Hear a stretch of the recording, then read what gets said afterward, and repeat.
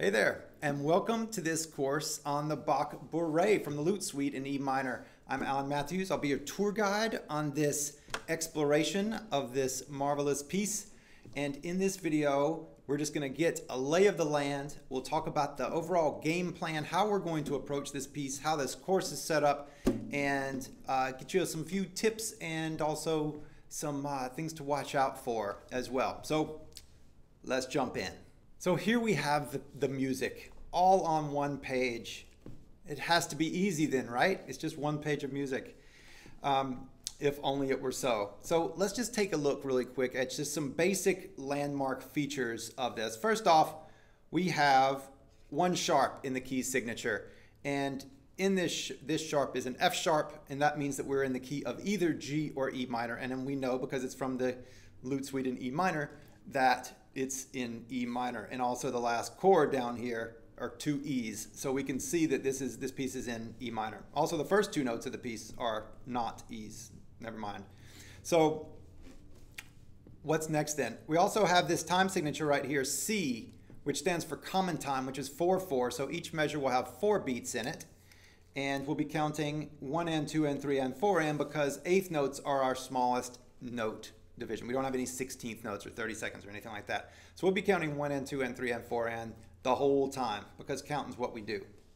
So next, let's look at some, um, some roadmap signs here. Here we have a repeat, and that is for the first eight bars here, these first two lines. So then this is the big A section. So we'll have, we'll go through it, we'll go through it again. So AA is the first part of that. And then here's a repeat, and then down at the bottom of a repeat, that means that this is the big B section. We'll play it twice. So our form is a binary form, AABB. Um, and this is really common for, um, for this time period. It's often said that whenever Bach pulled out a sheet of music, the first thing they do is just put two sections, put repeat signs, and then they'd write the piece. And so it was just the, the common practice to, to have this particular form for that time. Sometimes you'll find people don't play both of the repeats and everything, and that's perfectly fine. You can you can choose. I like it because it's a short piece anyway to play the repeats. It also makes the form bigger, and we can do different things with the swells and fades and the um, the balance of the top and the bottom and all that kind of stuff on the different uh, times that we do it. So we can add some variation as well. Makes it fun. All right, so now we have the big sections. Let's zoom in a little bit more here. And if you'll notice, every fourth complete bar. So this is a pickup bar that only has one beat in it. That first that first measure only has one beat. But then every four bar, one, two, three, four, you'll see that we have this bass line. So if you just look at the bass, we have this little bass line. And then one, two, three, four, we have a big chord. And in the top, there's this long note as well. And then if you do that again, one, two, three, four, we have a bass line. One, two, three, four, we have a bass line. One, two, three, four, we have a bass line.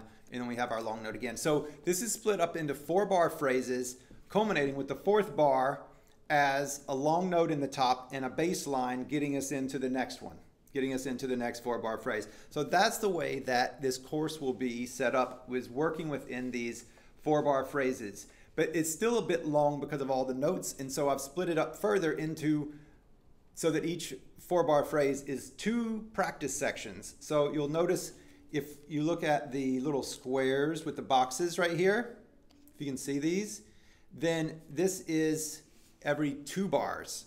Um, offset because of this first pickup note, these first two pickup notes, uh, lead down to their ba ba boom. And that's the way the melody does throughout. And so um, that's the way the the, the melody does throughout, and so then that's the way it always does with these practice sections as well. We we continue to do that instead of practicing at the downbeat, which isn't the musical division of the of, it's not the division of the music. So that's how we'll do it. These are our practice sections, and with each practice section, we'll go through and talk about what's going on. And so the other thing I'd like to point out, just as we look at this piece of music, is that there are very few chords, right, with more than two notes. Mostly what's going on is that there is an upper line with up stems, and then there is a lower line with down stems. And that's mainly what's going on. There's a melody and there's a bass. It's just two parts of music for most. And then at the big main points, we'll have a chord. Actually, just right there is the only time, isn't it? So just at the end of that, then what we have a chord, and it kind of seems like that here, but it's still just two notes. So that's the way this music is laid out. It's a melody and it's a bass. And so as we're playing the guitar, what we normally do is we look at the shapes in our hand. What is my hand doing? It's these two fingers and these two fingers. And it's easy to lose track of the fact that the music is actually these two things that are going on instead of one. So as guitarists, we have to ride on on two horses, so to speak. We have to have a foot in each camp, which is I have to know which notes go together. Right? These two, then these two, then these two, so that we can do this is a big finger acrobatics. This whole piece is nothing but finger acrobatics. It's a lot of stretching and on the low strings and the high strings at the time, same time.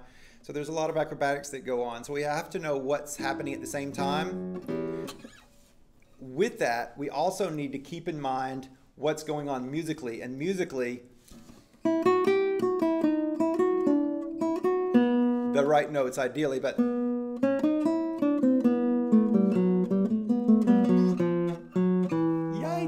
I should have done that better. But that's what's going on, right? Is there's a melody and then there's a bass. There's this bass line that's going on. So we need to just keep that in mind. Keep it in the back of your head and we'll talk about it more. So that's the lay of the land here. That's what we're going to be that's what we're going to be doing. One of the things if you would like to to get ready to play this piece is to go through and look at the notes. This first just to say really quick. This first section, the big A section is all down in the lower position. The second big B section is all over the place. It's all over the place. So one of the things that you can do to prepare for this top section, this first section, is just to look at the notes that you'll be using, which are just all the natural notes plus the F sharp instead of the F. So knowing that at the outset will make reading this a lot easier. If you're if you're shaky on the upper position notes, you can one uh, sweat it out and you know learn it using this right here and count up the notes and everything, or you can just grab the tab version and look at that and learn it from that. There's benefits to both, right? Um, ideally, you get better at reading the upper positions, but uh, there's something to be said for just grabbing the notes real fast and playing the tune as well while you're also working somewhere else on learning to read the upper notes. So that is up to you. The tab is included so you can do what you will. All right, so let's wrap there for our orientation. In the next video, we're gonna get started in earnest, jumping in to practice section number one. See you there.